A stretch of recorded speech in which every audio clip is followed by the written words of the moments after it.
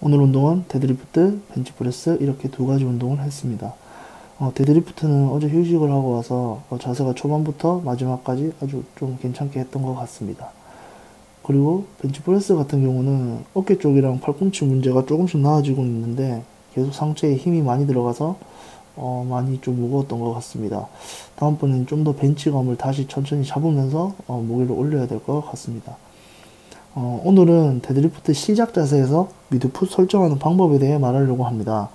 어, 대부분의 사람들이 Starting Strength 책에 나오는 것처럼 어, 바벨을 발 중앙 위에 얹어놓고 정강이를 붙이는 데드리프트를 하실 겁니다. 근데 이 방법을 했을 때 비율이 좋은 사람은 어, 이 방법이 잘 맞겠지만 보통 체형이신 분들이나 데드를 하기 힘든 체형이신 분들이 이 방법을 했을 때 어, 무게 중심이 뒤꿈치로 많이 가고 뒷다리 근육만 많이 쓰게 되는 데드리프트를 많이 하게 됩니다.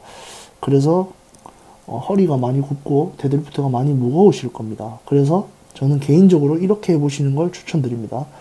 어, 원래 보폭에서 어, 살짝 뒤로 가보시는 겁니다. 그러면 뒤꿈치만 눌리던 게 어, 발바닥이 전체가 눌리면서 어, 어, 기존보다 무릎이 살짝 앞으로 오게 될 겁니다. 그러면 대퇴사두의 힘을 사용할 수 있게 되고 어, 다, 전체적으로는 다리 앞뒤 옆에 힘이 들어가면서 어, 데드리프트가 어, 조금 하체 힘을 쓰기에 편해지실 거고 어, 조금 가벼워지실 겁니다.